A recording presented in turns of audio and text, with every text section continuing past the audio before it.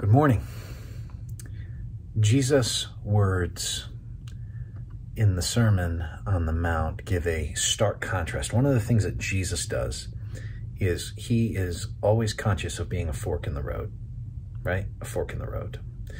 Um, like that statement by Jim Elliot, make me a fork in the road that people will have to choose upon coming and, and facing me, whether they're going to choose to follow Christ or they're going to walk away. It's an important concept and a way for us to live, but it's also important for us to recognize that Jesus makes no bones about it. You, you either are going to go one way or the other. And so we pick up in verse 13 in the Sermon on the Mount, in Matthew 7, verse 13 and 14, enter by the narrow gate, for the gate is wide and the way is easy that leads to destruction, and those who enter by it are many.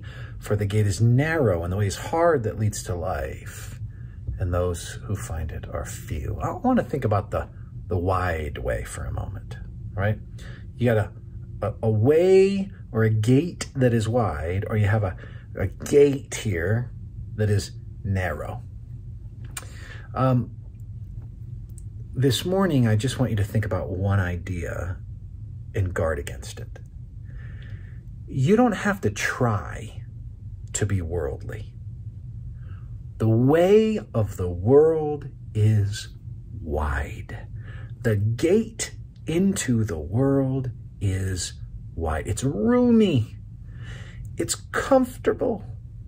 It's broad in that way. You can, you can drive like Kramer and Seinfeld in the wide lane if you want to, right?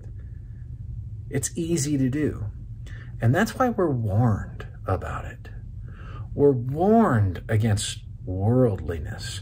We're warned to not be like uh, a soldier that gets involved in civilian affairs. We're warned to not be an athlete that doesn't pay attention to the rules.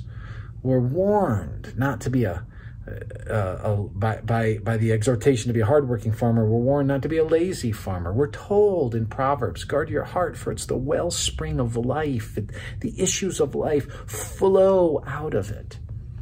So when you face Christ, you're either going to choose the narrow gate, which is to pursue him with your life and have the kind of life that fits with the kingdom, or a life in the world, which would be a life away from Christ you won't have to work at that.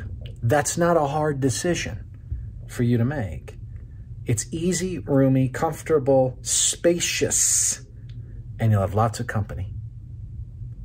So what that means is you have to be really conscious of how uh, insidious, how stealth-like the world is, right? So for this morning's thought for the day, be aware of the world and its creep into your life because you can kind of angle towards the narrow gate, but the world has a way of creeping in. Be guarded. Have a good day.